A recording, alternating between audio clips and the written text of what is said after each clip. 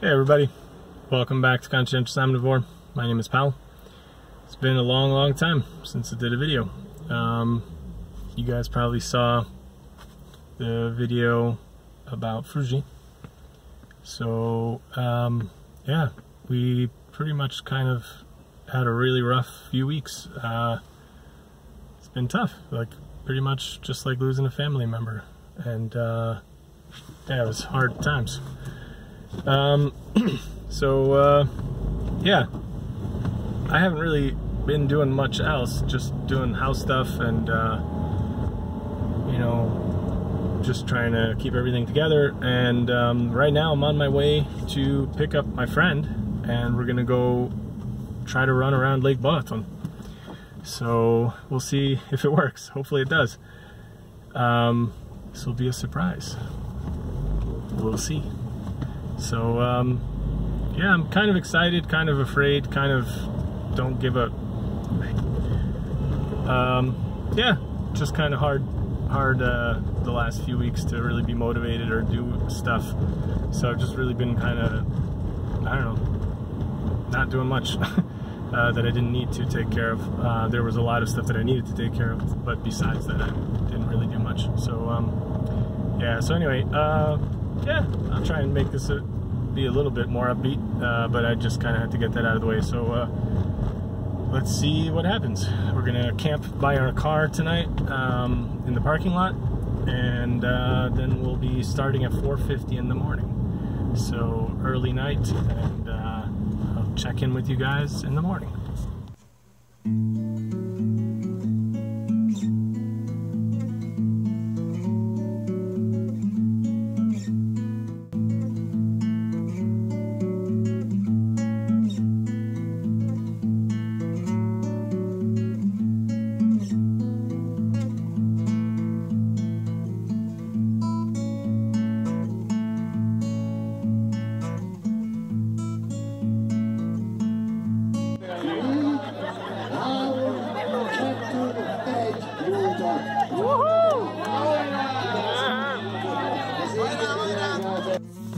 So my buddy's off on the first leg. Uh, I just made it to the uh, checkpoint where we're gonna change the relay point, and uh, I have enough time to just get dressed and maybe take a short nap. I'm still pretty tired.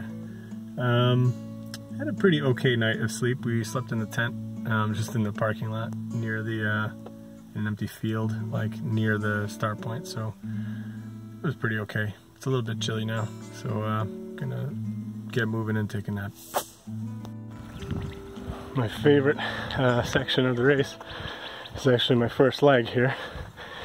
Never been on this part when it's this early, so it's actually quite chilly. I'm in uh, long pants and I had a extra shirt on, a long sleeve. I've since taken that off. Now I'm doing my power walk up the big hill here. Started from down there in the little village. And we got quite a ways to go up. So I'm just doing my power walk now. All right, I've been running about seven and a half K, I think, and get my first glimpse of the Balaton over there, so you can see the beautiful lake coming down into Dörgicse. Down, pretty good. A little bit fast. the uh, thing is, I think at the beginning we just kind of over, like, or underestimate how fast we'll go. Happens every year. Anyway, having a little snack now. Heart-shaped brownie. Uh, this recipe is sick. I'm going to make a separate video about this for you guys because it's so good. Oil-free. Um, it's really good, man. Got some heart-shaped ones because they're made with love. Got some round ones because uh, we need to roll. And uh, I gotta go. More food coming up later. Figs, dates. Got some aspirin in there too. Hopefully I won't need that. Got some oats. Lots of stuff. Alright, see you guys in a bit. Just started my second run here. Some beautiful countryside. Just left Zánka. And uh, I love these sections. Can't see the lake, but it's beautiful. About halfway through my uh, current leg here. So far so good. Got some nice music coming up in this checkpoint. It's rocking. In here by the car, by the roadside, waiting. I got a maybe 25, 30 minute nap time. I don't know if I'll be able to fall asleep, but I'm gonna lay down for sure. And uh, then I'll make my way up to the relay point and hopefully meet my friend in about half an hour or 45 minutes or something like that. See you guys in a bit. As you look at that hillside, so beautiful. I love it. We're going towards Badacsony. If anybody hasn't seen the video from last year, check that one out. I tell you guys a little bit about this road. This uh, was built, I guess, back in the Roman days. It's still called the Roman Road, Római út. And uh, you have beautiful uh, historic kind of buildings here. You have the Balaton down yonder. It's an amazing view. Got some awesome like weekend houses up here and places you can stay. A lot of wineries. Nice old wine cellars and stuff up in the hills. It's really awesome. I, uh, I love going through this part. Kind of hate running it because there's like little hills like this constantly. And when you're tired, it's like not like pleasant. But uh, because the race got changed this year, like the start point is in a different place, um, I'm on fresher legs here than I was last year. So I'm not really feeling that bad yet, which is good. I'm pretty happy about that. And uh, you know, just breaking it up with some walking when I get to level spots, I run. Just like I did on my uh, little 31K. Look at that. Just the water's so beautiful. I love it. So blue. Hope you guys can see it in the video. I'm kind of just moving along, so I can't really be bothered to uh, give you nice scenery, but uh, hopefully it's alright and enjoyable. It's really cool. Here, I'll stop for one minute. Get a clear shot. Alright, back to running.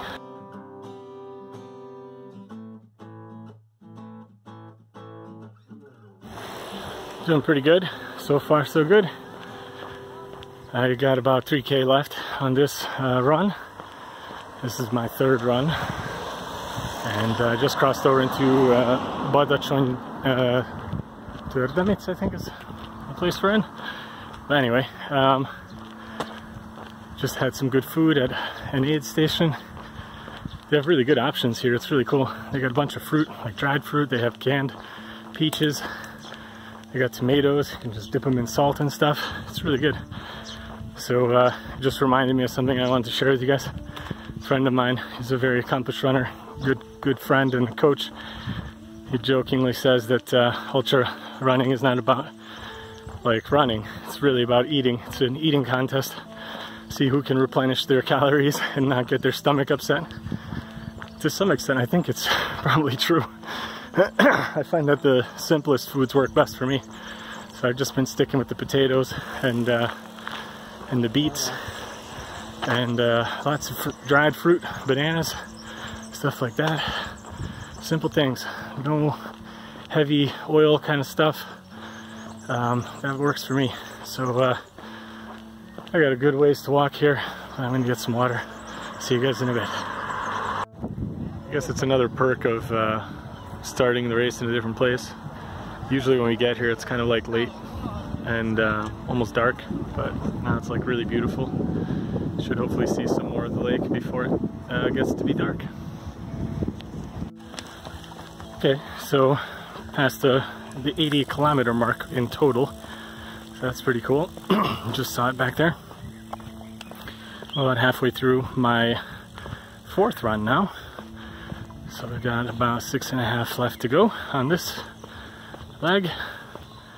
Feeling okay, just had a little food. Um, so far so good. I mean, I'm definitely tired and there's little, you know, aches and pains and stuff, but uh, so far, knock on wood, so good. Hey, everybody. Um, didn't make it. so, don't really have any footage after uh, things started going south. Basically, uh, things fell apart for me started getting bad kind of in my fifth run. Fourth one was still pretty good, and then uh, just got progressively worse. The sixth one was like kind of rough, and um, my mood just wasn't good. Like I just didn't really feel like I was in it, you know. And um, and then the seventh one just outright sucked. It was uh, raining like steadily, and it was really cold. The first half of that run I was still kind of okay, and I was even moving pretty decently, I would say, but uh, not, I mean, not according to plan or anything, but uh, but I was still at least moving, and my, I don't know, like my feeling was still okay, but then I started getting really cold, and I started slowing down, and that made things even worse. I was freezing by the time I got in, and uh, I mean, I was just like, there's no way in hell I'm going back out in the rain again. And my friend, um, you know, ran another one after that in, you know, just as bad rain. And uh, he was out there for two hours, I was out there for two hours. And then when he came in, it was like 4.50 in the morning and it was just pouring. And um, from there, like, I still would have had three legs to go and he would have had two legs left. And uh, we were still like okay on time. I don't think we would have, um, you know, been cut off from the race, but uh, I just couldn't bring myself to go out in the rain anymore. And um, so we decided to just sit in the car and wait to see if the rain stopped. A lot of people were saying it was going to stop. Um, of course, they had been saying that for like for an hour um, or more. Actually, no, like two hours. and it hadn't passed, and um, it was still pouring.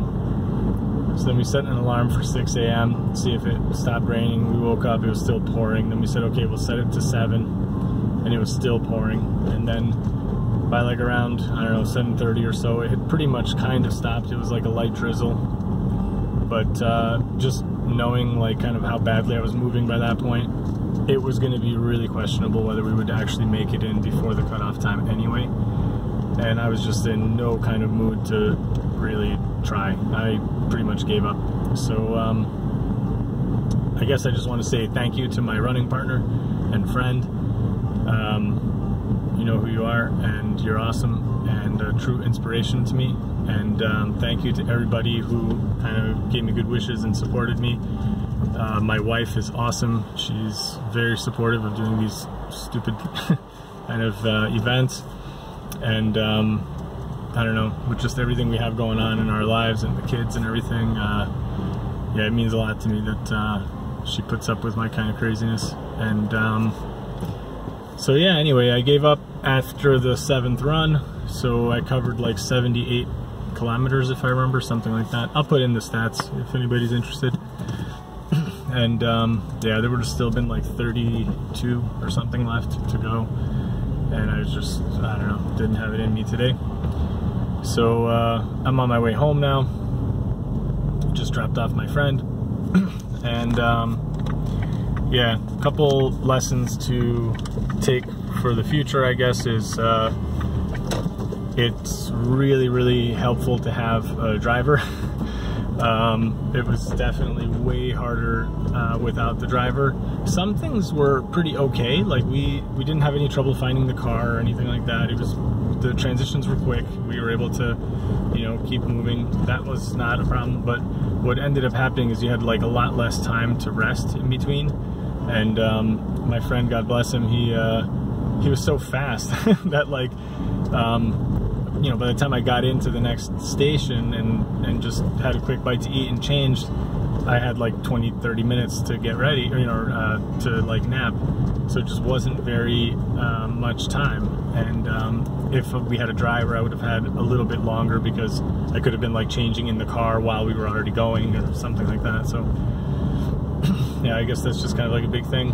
Um, nutrition wise, uh, I was fine. Um, my stomach was okay. I didn't have any problems. Uh, the same foods from last year and the year before, it worked fine. Uh, so that that was fine.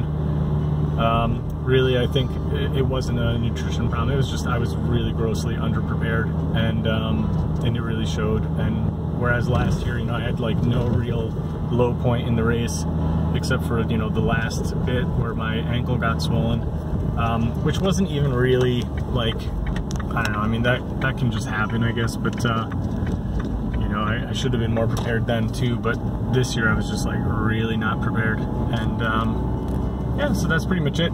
I hope you guys enjoyed the video anyway. Um, there were some really great sights to be seen. Uh, I was not filming at night. Um, you know, mostly because I was just dead tired and I was like not really having time in the uh, in between parts. I was just concentrating on trying to, you know, uh, sleep and try to get as much rest as possible where I just had my legs up. And um, yeah, um, yeah, that's pretty much it. Hope you guys enjoyed it. If anybody's interested in running, I highly recommend this event. It's super fun. Um, you know, you can sign up with a big team too. So if you're not fully, uh, you know, into like huge distances, you can do it as a 10 person team.